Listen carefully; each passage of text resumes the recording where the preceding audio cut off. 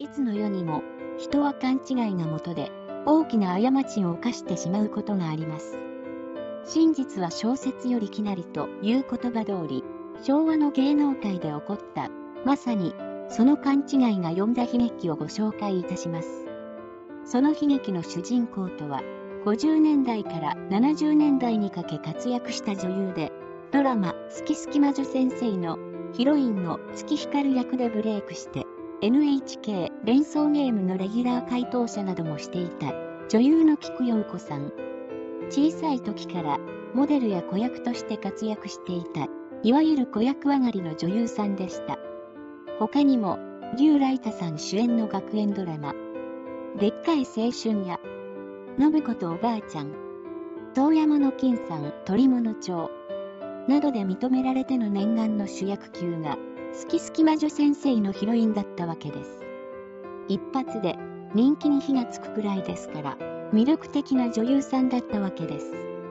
若くして成功した菊代子さんは、月収が当時の金額で100万円以上あったと言いますから、お金には困らなかったと言います。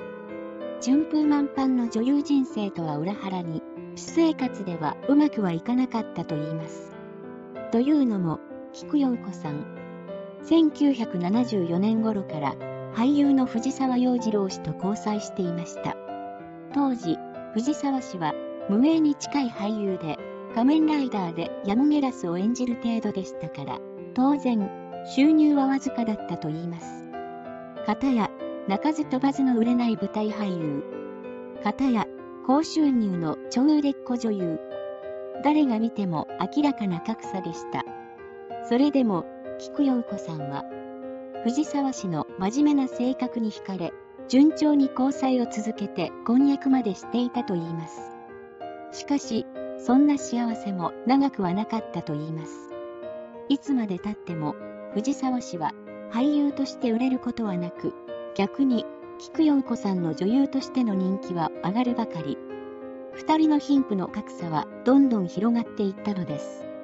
実は、そもそも、それが今回の悲劇を生んだきっかけだったとも言えるのです。それでも、藤沢氏は、菊陽子さんとの結婚を望んで、菊陽子さんの父親に二人の結婚を認めてもらうようお願いしましたが、当然ながらというか、菊陽子さんの父親は、ほぼ無収入の男との結婚を認めませんでした。それから、藤沢氏の行動が変わっていったというのです。明らかにおかしくなっていったのだと言います。とはいえ、それでも交際は続いたと言いますが、仕事もなく、時間を持て余している藤沢氏と、ブレイク中の菊陽子さんの間には、次第にすれ違いが多くなったのも無理はありません。そんな菊さんのことを藤沢氏は、彼女の浮気ではと一方的に思い込み、菊陽子さんの仕事現場にまで、彼女を監視するために行ったのですが、無名ですから、テレビ局から出禁にされる羽目に、菊さんを監視できなくなると、今度は、藤沢氏は、菊さんのマネージャーや、共演者との浮気を疑うようになります。深夜に菊さんに電話したり、自宅に忍び込んだりと、ストーカー行為をするようになったのだとか。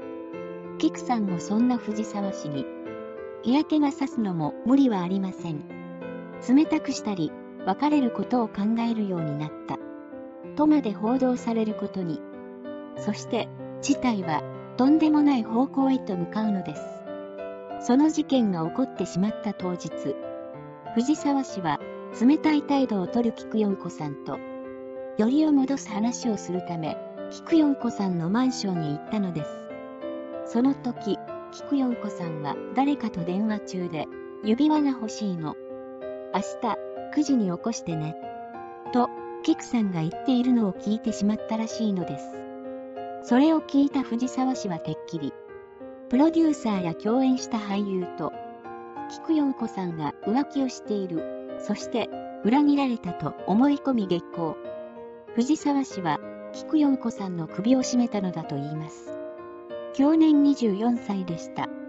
首には電話コードが巻きついていたそうです。藤沢氏には、他にも何か確信があったのでしょうか。警察の調べに対して、藤沢氏は、自分はキクさんが好きで、結婚したかった。しかし、キクさんが他の男と交際しているため、注意したが効かなかったので、と供述したそうです。相手は一体誰だったのか。後になって実は、菊四子さんがブレイクしたきっかけ。好き好き魔女先生の原作者の漫画家の石森章太郎さんが愛人の女優が惨殺された。菊陽子は自分相手に枕営業をしていた。と自伝的エッセイで衝撃的な発表をしました。また、菊陽子さんと石森さん、藤沢氏の奇妙な三角関係についても記されていたのです。菊陽子さんと石森章太郎さんとは、菊さんが少女クラブでモデルをしていた10代の頃からの関係で、ちょうど石森章太郎さんが少女雑誌少女クラブで連載していた頃だそう。火のないところには煙は立たないという通り、おそらくは藤沢氏はその関係を終わらせようとしたのかもしれません。しかし一般的には、電話の内容を勘違いしたことが、犯行の大きな動機と言われています。犯行後、自らも命を絶とうとして、運転する車で橋の欄干に突っ込んだのですが、死にきれませんでした。そして、藤沢氏は裁判で初めて耳にしたある真実に愕然とし、泣き崩れたのだとか。それは、実は、藤沢氏が聞いた。キクさんの電話の相手は、なんと彼女の父親だったそうなのです。翌日が、舞台の千秋楽のため、父親にモーニングコールを頼み、自分が結婚する時には、母親の形見の指輪をもらうことにしていたために、その指輪を父が小指にしていたのですが、それを願った言葉だったのです。それを聞いた藤沢氏は、泣き崩れたと言います。これ以上の大どんでん返しがあるでしょうか。菊陽子さん。若くして売れっ子になってその裏では、いわゆる大人の事情があったとはいえ、本当は一人の男性を愛する女の幸せを望んでいたのではないでしょうか。すべてを藤沢氏の妄想として片付けるのか。